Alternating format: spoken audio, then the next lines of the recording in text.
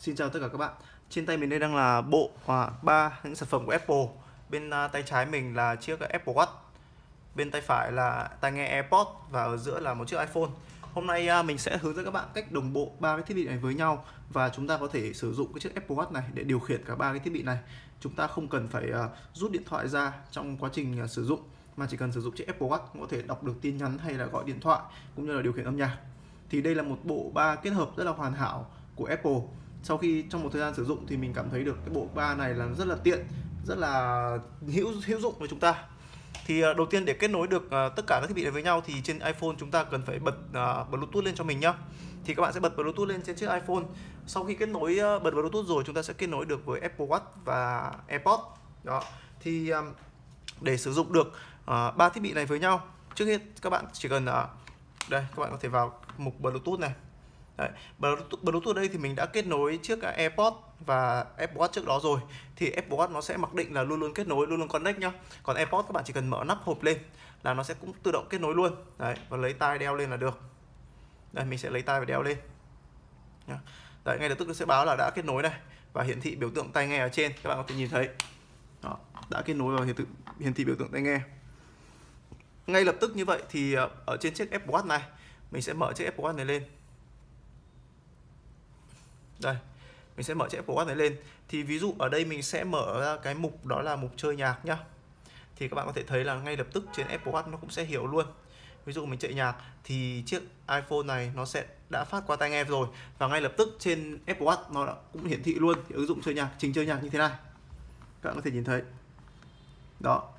Như vậy là các bạn có thể nhìn thấy được là nó đã đồng bộ ba thiết bị cùng một lúc. Ở đây mình sẽ có thể à, cất điện thoại đi và mình sẽ điều khiển tất cả trên chiếc đồng hồ này. Ví dụ mình bao tạm dừng nhạc này. Đấy mình sẽ tạm dừng nhạc này. Đó chạy nhạc này. Các bạn có thể vặn cái núm này nhá vặn cái núm crowd này để tăng giảm âm lượng. Thì các bạn có thể nhìn thấy là trên điện thoại nó cũng sẽ hiển thị luôn. Và ngay lập tức à, âm thanh ở trên tai nghe nó sẽ được điều chỉnh. Đó. Thì tai nghe của Apple Watch nó à tai nghe AirPods nó có một cái hạn chế đó là cái âm thanh của các bạn sẽ không thể tăng giảm âm thanh to nhỏ được trong quá trình sử dụng.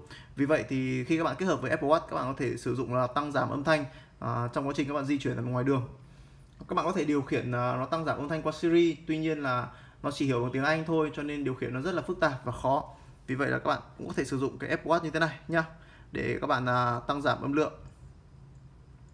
Đây. Đó. Đây vặn núm nhá. Các bạn mở ứng dụng này. Vặn núm nó sẽ điều chỉnh âm thanh. Đấy. ngay lập tức âm thanh ở trên uh, iPhone nó cũng hiển thị theo. Các bạn có thể nhìn thấy ok đó là một cái đầu tiên. Cái thứ hai là các bạn có thể uh, sử dụng cái um, Apple Watch này để phát nhạc. Thì ở đây nó sẽ có các mục nhạc như kiểu là nhạc trên Apple Watch hay nhạc qua ứng dụng trên iPhone. Đấy khi các bạn chuyển sang ứng dụng nhạc trên Apple Watch như thế này đấy, thì nó sẽ có những cái bài mà cài đặt sẵn sinh sẵn lên trên iPhone rồi à trên Apple Watch rồi. Đấy thì các bạn sẽ có hai sự lựa chọn. Thứ nhất là trên iPhone này đấy nhạc trên iPhone nhá hoặc là nhạc trong thư viện của Apple Watch. Đó thì các bạn sẽ bấm vào nhạc trên thư viện thì ngay lập tức nó sẽ chuyển nhạc từ uh, thư viện đang chạy ở mp3.zing sang nhạc trên chiếc Apple Watch. Bên bây giờ các bạn có thể nhìn thấy là nhạc ở trên uh, iPhone này nó đã tạm dừng rồi.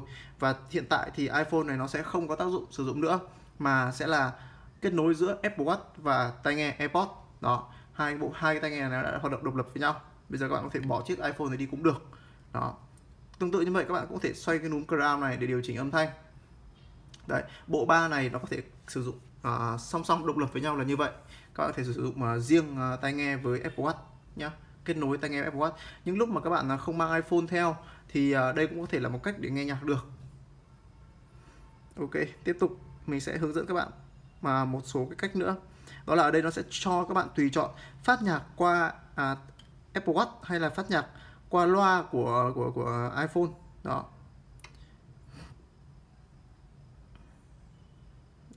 Thì các bạn có thể nhiều được uh, tính năng như vậy. À, ở đây mình sẽ chuyển sang nhạc phát sang iPhone nhá. Mình sẽ cất tai nghe đi này. Đóng nắp lại. Cất tai nghe đi nhá. Thì trình nhạc này mình sẽ ngay được sau khi các bạn cất tai nghe đi thì uh, iPhone nó sẽ disconnect với cái tai nghe rồi. Và các bạn có thể chơi nhạc trực tiếp qua cái um, từ Apple Watch lên iPhone luôn. Đó. Các bạn có thể uh, điều khiển âm thanh của iPhone qua chiếc Apple Watch này. Đấy, các bạn thấy chạy.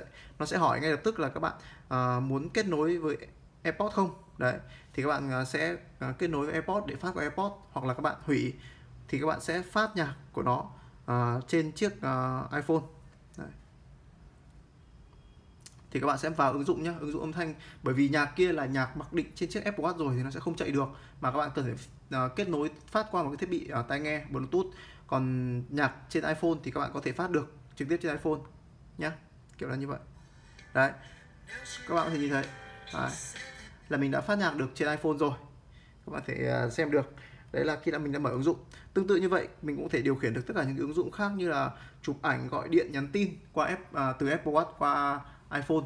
Đó đấy là những cái ứng dụng mà mình có thể sử dụng Apple Watch để điều khiển được thì uh, tương tự như vậy khi kết hợp với tai nghe AirPods các bạn có thể sử dụng uh, đồng Apple Watch để thực hiện cuộc gọi trực tiếp trên Apple Watch và thông qua AirPods để đàm thoại luôn không cần phải sử dụng đến iPhone nữa.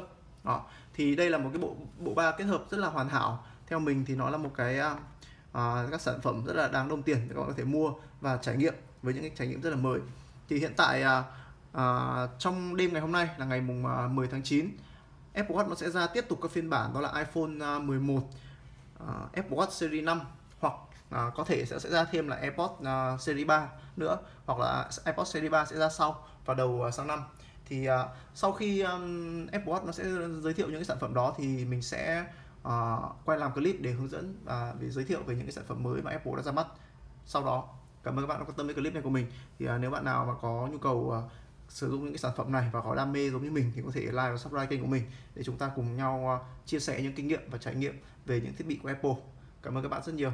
Chào các bạn.